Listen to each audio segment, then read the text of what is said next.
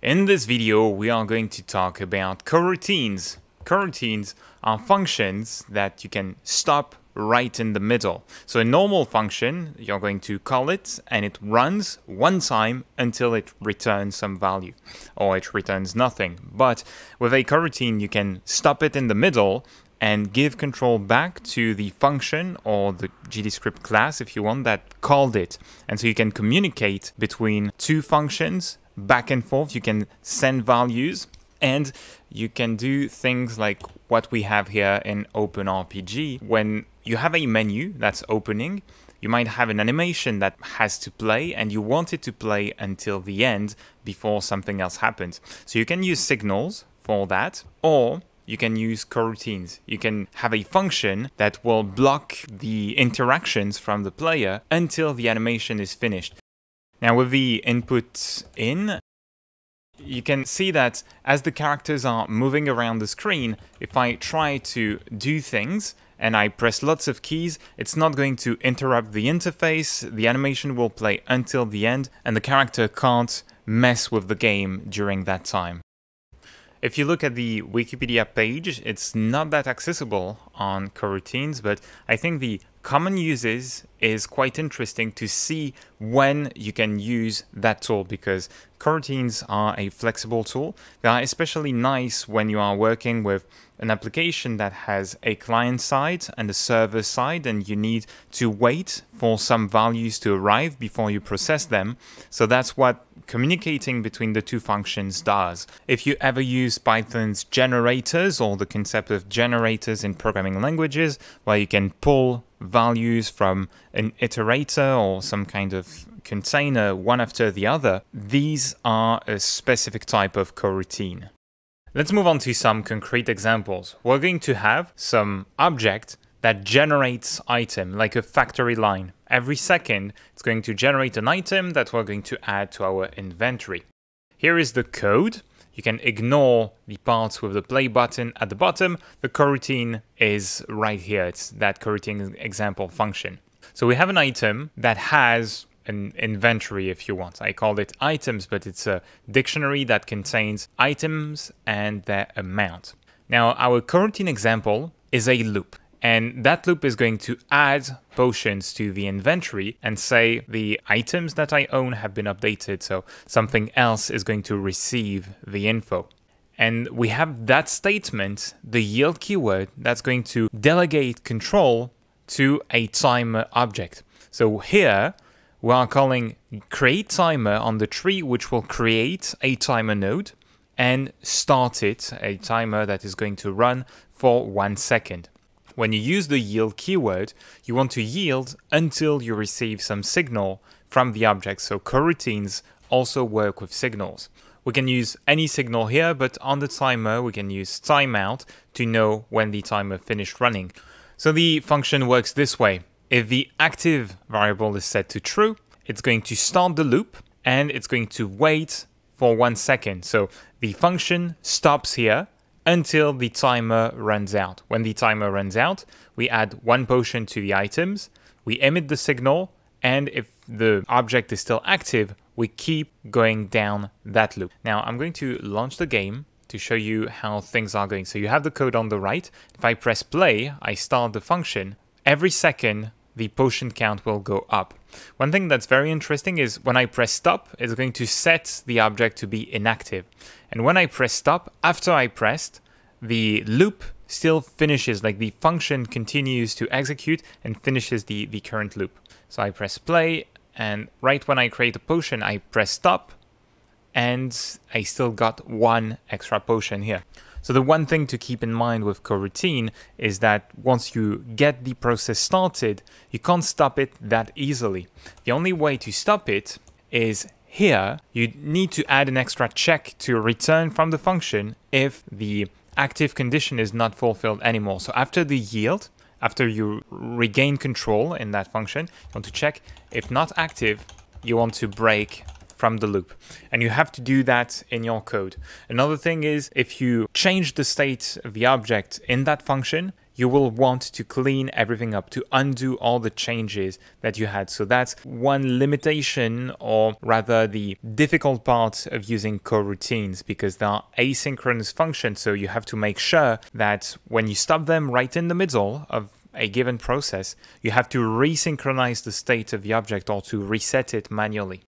The next example involves a character here. Let's look at the code because that's where everything is happening. So this character can move to a given position. We want to wait for the character to arrive to the position to allow it to move somewhere else. In this example, we are going to use the tween node and we are going to yield until the tween has been completed. The code works that way.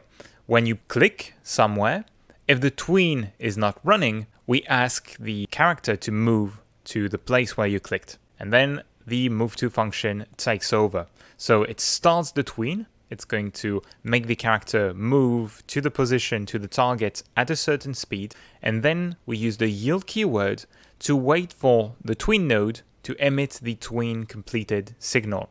And until then, we are in the middle of the function, we are locked you have to check that tween is not active in here. If I remove that part of the condition, I can start my move to function multiple times and I'm going to override the tween right in the middle.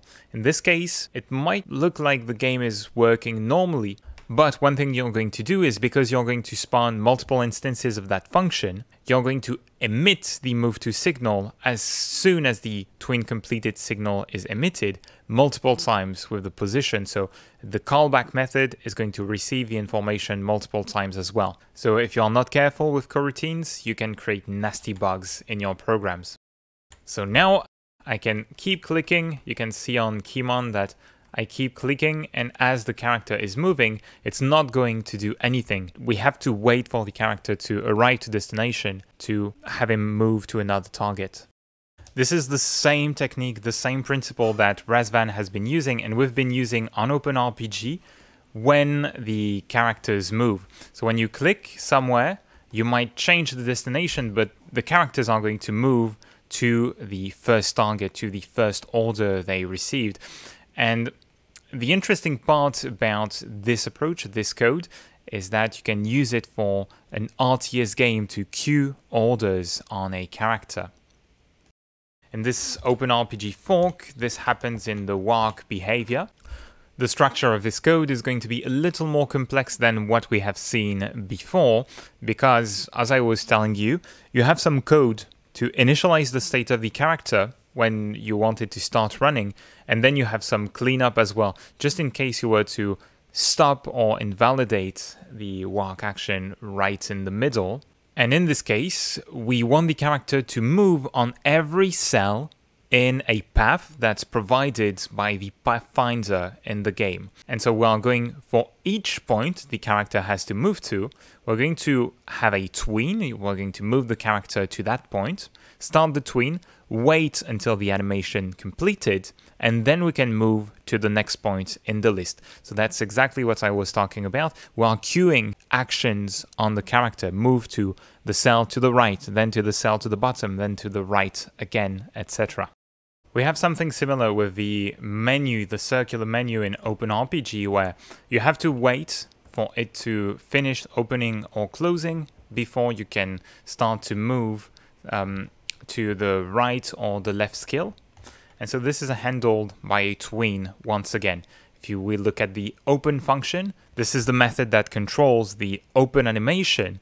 We are spawning the tweens for the buttons, for each of the buttons that we have in the menu. We call tween.start and then we wait for the tween to complete. So once again, same technique. I think one of the most common cases where you use coroutines in Godot over signals is working with animation in general, the animation player and the tweens, because you can have the flow of the code all linear. If you use a signal, you have to call back another function, so you have to split this open function in two and have something like onTween completed, which uh, is a little harder to keep track of, especially if you have an animation like that that you need to implement via code, but you need multiple yields inside of it. So you have multiple sequences in your animation.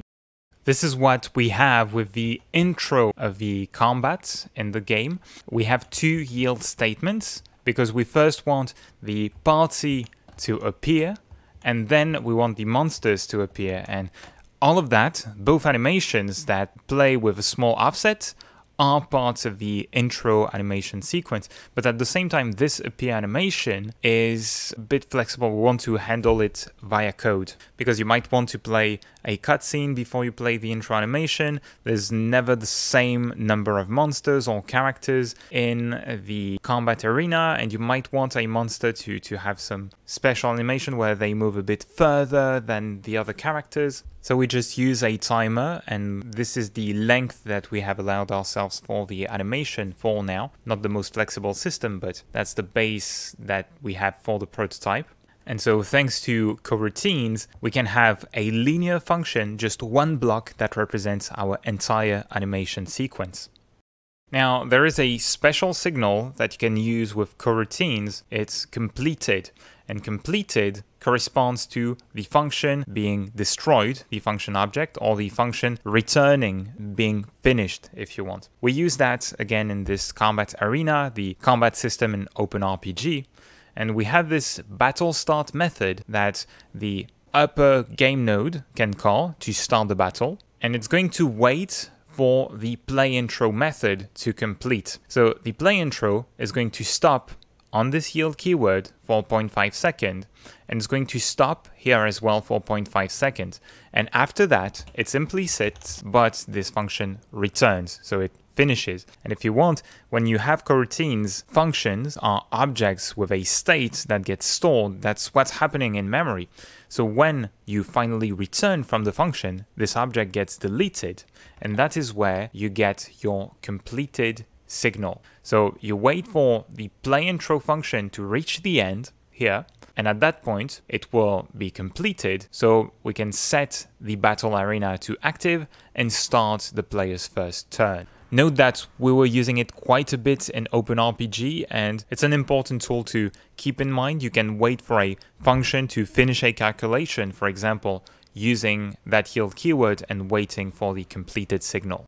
But with that, that's not too bad for an intro to coroutines. You can find the project, I link to it in the video description below. I want to thank you kindly for watching. And that said, be creative, have fun, and let's see one another in the next one. Bye bye.